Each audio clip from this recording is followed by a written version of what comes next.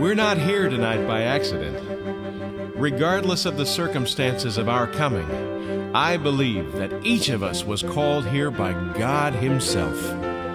Called to set aside the busyness of our lives and to open our hearts to Him.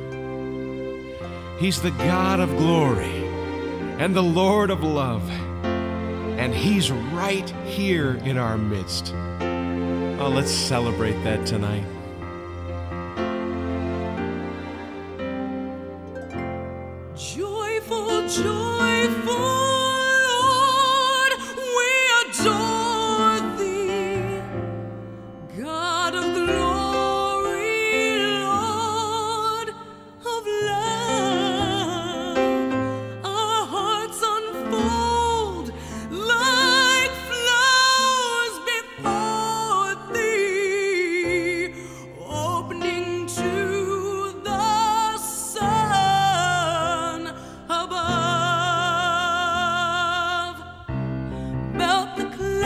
Above.